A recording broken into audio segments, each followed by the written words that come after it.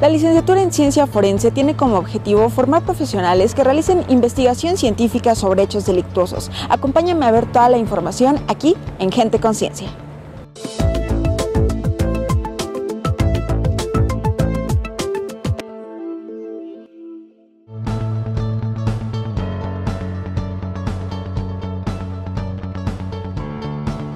La licenciatura en ciencia forense fue creada en enero de 2013. Es una licenciatura de las nuevas que ha creado la Universidad Nacional. Se vio como una necesidad a la par de la renovación del sistema penal acusatorio. Nosotros estamos formando a profesionales que desde el pregrado van a tener un conocimiento de las distintas áreas de las ciencias, de las ciencias básicas, que de manera progresiva se van aplicando en, en lo forense. Además, cuentan con laboratorios para la docencia y la investigación.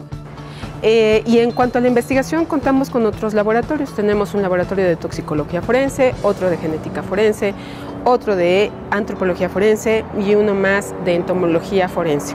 A los profesionales de la licenciatura en ciencia forense los preparan en química, biología, psicología, anatomía y derecho, entre otras áreas de la ciencia, para poder enfrentarse a los retos del sistema de justicia penal acusatorio. Entonces empiezan ellos a compartir lenguaje jurídico y a hacer que los juristas compartan también lo, el lenguaje científico. Esta licenciatura es de alta exigencia cuenta con proyectos integrales entre instituciones nacionales de investigación y servicio público.